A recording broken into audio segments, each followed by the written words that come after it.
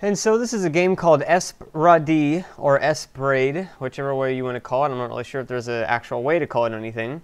But it is another shoot 'em up game by Cave, and it's a older one, but it also spawned the Espgaluda series, which there's Espgaluda 1 and 2, and I already have videos of Espgaluda on my channel, so you can click on annotation right here to go to that if you want to check that out.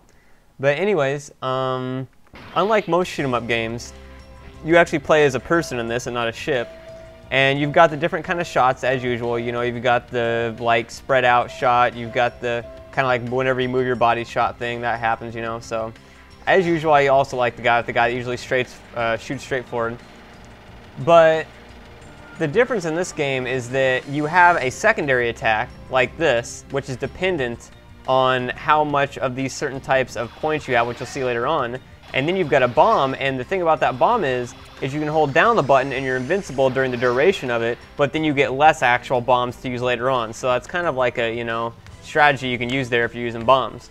As usual, I'm also going to try to not use bombs that much in this, so we'll see how this goes. But um, the P things are power-ups. That's not three power-ups. You actually need multiple of those to power up. And you see that little diagram down there on the bottom that says seven? That's how many little orange orb things I shoot out. And so as you go up in power, that amount that you can shoot out goes up.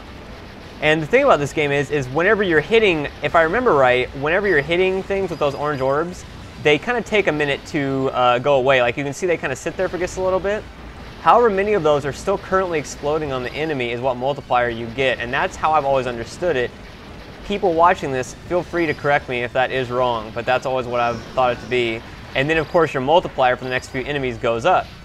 So the whole premise of this game is that you are psychic and you're using ESP powers, hence the name Esprade, to do all this shit. And you're fighting against the whole, you know, bunch of psychic warriors. It's like in games like this, storyline generally isn't the biggest concern. So, you know, yeah. And much like uh, other shoot 'em up games, if you hold down the fire button, you move slower, which is good to use precision dodging. So, yeah. This game also has uh, quote-unquote voice acting. Yeah. Um, when you get up to full power, the icons you get are these little orange things.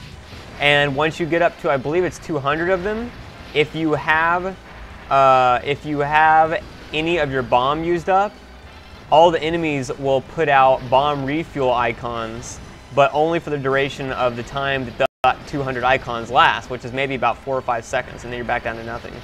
Now, I'm not sure if those icons do directly influence your multiplier. They probably do because in future Espgaluda games they do. They're different colored icons and they're different look, but they're basically the same thing.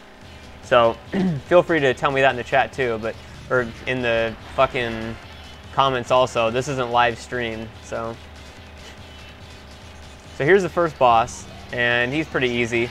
Now something interesting to note about this game too is, is depending on what one of the three characters you pick, you actually play through the stages in the game in a different order. And the bosses at the end of each stage are powered up differently depending on what stage you play them on. So if I were to pick one of the other characters and I got this guy on stage uh, 3, for instance, he'd have two more life bars and he'd be more significantly powered up. He'd be shooting out way more bullets, he'd have different attacks, stuff like that. So if you do have trouble on a certain boss, you may want to try playing with a different character because then, you know, they may be lesser, or more stronger powered up. So that's also something to take into account. Um, and as usual, I'm also doing this game with live commentary, meaning that I am playing this and commentating at the same time. So see, notice I got times 14 there because I uh, had 14 of those going off. The maximum multiplier is 16, which is when you hit him with everything and then you get 16. Even though you can only shoot out 15, so I don't really get how that works. Maybe there's no 15, there's only 14 to 16. I don't really know how that works. But um, yeah.